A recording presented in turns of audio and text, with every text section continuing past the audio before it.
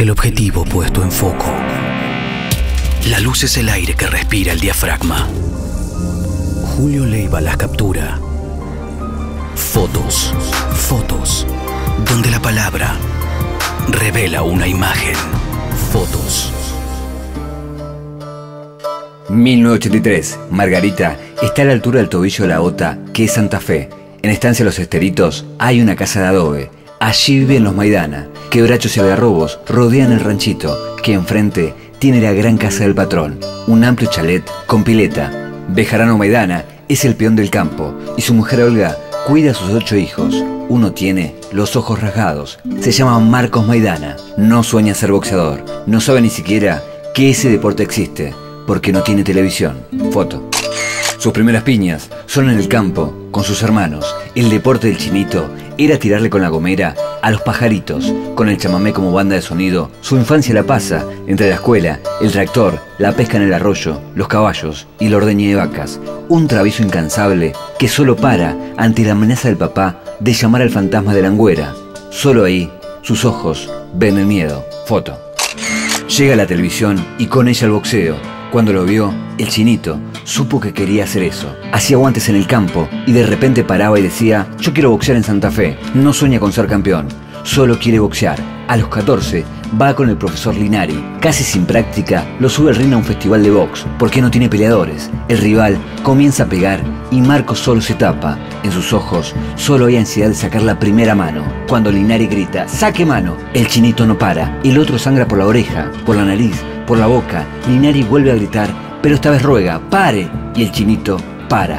La pelea se acaba. Solo pasó un minuto y medio. Foto. Linari le sube la edad al chino para que pelee. No tiene problemas de enfrentar a boxeadores más grandes. Ese pibe callado viene sin miedo. En los festivales le dice al verdulero que era el presentador cómo anunciarlo. El verdulero entonces grita, y en el rincón rojo, el futuro campeón del mundo, Marcos Maidana. La gente estalla en risa hasta que ven el knockout en el primer round. El chino es un noqueador serial, ese animal preciado, arriba de la jaula del ring. Foto. Maidana cambia de entrenador solo porque en el gimnasio nuevo hay más minas. Guillermo Serra lo lleva a vivir a una casa con otros boxeadores, pelea por techo y comida, se abre nocaut limpio en el camino amateur, 84 ganadas y 4 perdidas. Es campeón argentino amateur, pero no clasifica a los Juegos Olímpicos de Atenas 2004. Es la hora de sacarse el protector y poner la jeta. Foto. 12 de junio 2004. Corrientes, el chino con 20 años, debuta como profesional, viste pantalón blanco, pelo corto y un mechón largo que baja por la nuca. Sin protección amateur, los golpes duelen. Igual, solo bastaron 50 segundos. Cross al mentón y cuenta de 10 para Adam Mironchik. Con el guante, firma su primera pelea con su sello de knockout. Foto. De las primeras 25 peleas, 24 las gana antes de tiempo, 10 de ellas por knockout en el primer round. Es casi una máquina inconsciente. 22 de diciembre 2006 se enfrenta a Miguel Caliz. El bombón asesino suena en los parlantes. Ya lo llaman el boxeador del pueblo. El chino entra con la camiseta de Colón. Margarita está en Buenos Aires. En el tercer round, el árbitro pide clemencia y para la pelea. El chino levanta las manos cada vez más alto. El problema de los que no sueñan es que no saben cuándo tienen que parar. Foto. Su nuevo entrenador es Rafael Liendo. Tras una exitosa campaña en Alemania, le llega la chance mundialista. 7 de febrero 2009, Hamburgo, enfrenta al campeón mundial, el ucraniano Andreas Kotelnik. Tiene la bandera argentina arriba del muslo del pantaloncito. Maidana es una máquina de tirar. El ucraniano resiste. El knockout no llega. Sin las tarjetas, para todos, Maidana es el ganador. Menos para los jueces que le dan la victoria al campeón. El chino le mira la cara de la derrota por primera vez. Foto. 27 de junio 2009, de Margarita a Los Ángeles. El chino tiene otra chance. Pelea por el título mundial interino de la AMB. Enfrenta a Víctor Ortiz, la gran promesa del box estadounidense. A Maidana lo llevan para perder. Los dos pegan, los dos se persiguen. Ortiz cae una vez. Maidana cae tres veces. Es una pelea para la historia. La sangre en el ojo y a buscarlo. Lo va demoliendo a trompada limpia. Esta vez no se va a escapar. En el sexto round lo encuentra con un knockout técnico. La promesa Ortiz, en realidad, tiene la cara desfigurada. A Maidana le abre las puertas a Estados Unidos. El chino tiene la cara de campeón mundial. Foto. 2010. Maidana rompe relaciones con su promotor. Lo quieren estafar. Forma un nuevo equipo. Lo representa el periodista Contursi. Su primo Pileta es su mano derecha y su amigo Piraña su ayudante. Las Vegas. Enfrente está el campeón Amir Khan.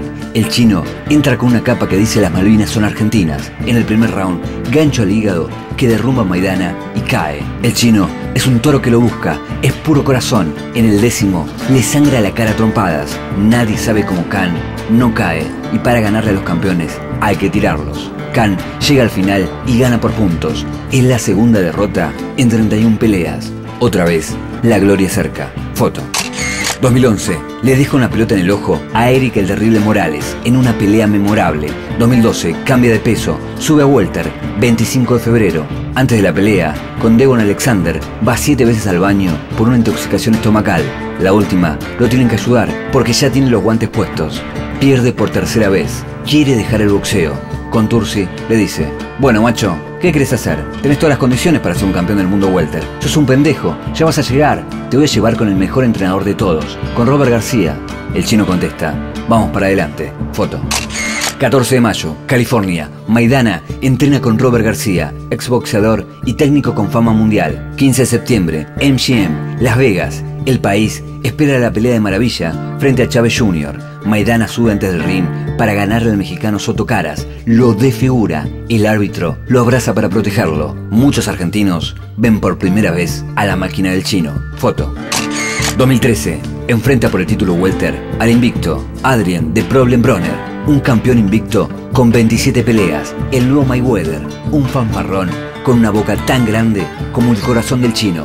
Maidana dice, todavía no le ganó nadie. He peleado con leones. La vaca se metió con el toro. El chino le da la paliza de su vida, lo tira dos veces y hasta lo apoya. Bronner sale en ambulancia y el chino con el título de campeón del mundo. Gana el Olimpia de Oro. Le dice a su amigo Pileta que es la última pelea. Está cansado. Pileta le dice, la mayoría las ganaste sin sufrir, antes de tiempo. El chino responde, vos no estás arriba del ring. Pegan fuerte. Foto. 2014, Marcos anuncia que solo volverá a un ring si pelea contra Floyd Mayweather, el mejor de todos, el hombre récord, el deportista quien más millones gana en todo el mundo. Si no, Maidana descansará en Margarita. 7 de febrero, su representante lo llama desde Nueva York. Hay posibilidad de que la pelea salga. No está confirmado, pero parece que sí, que se hace. El chino contesta, me pongo a correr. Foto. Mayweather es campeón con 37 años, invicto en 45 peleas, el de la flota de autos lujosos, el de las mansiones descomunales, el del reloj brillante de un millón de dólares. El chino es el de Margarita, el de los tatuajes del gauchito Hill, al que va a pagarle las promesas, el del tatuaje del revólver en la cintura, porque le gustan las armas, el que compró campos donde su papá era peón y ahora es rey, el que entra con el bombón asesino, el mendigo que quiere arrebatarle la corona al príncipe. Foto. 3 de mayo 2014.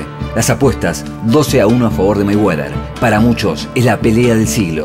La titulan The Moment. El chino dice, no le tengo miedo, nada me asusta de él. Mayweather entra con Justin Bieber. Maidana entra con su humildad. Un boxeador contra un peleador.